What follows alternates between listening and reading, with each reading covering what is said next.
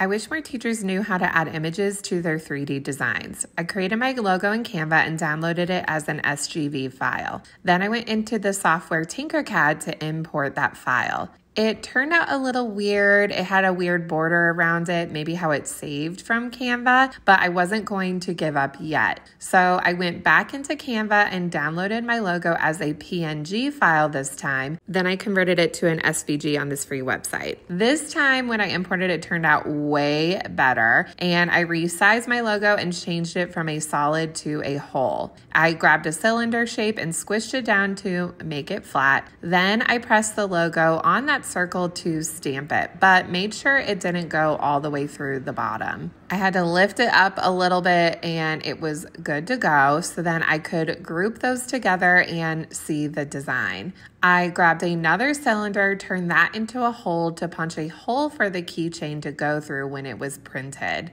I made some adjustments and my design was done. I want my students to collect different colors for each club of mine they joined throughout the years. They did take a while to print, but it was worth the wait. Would you try out this project? Let me know.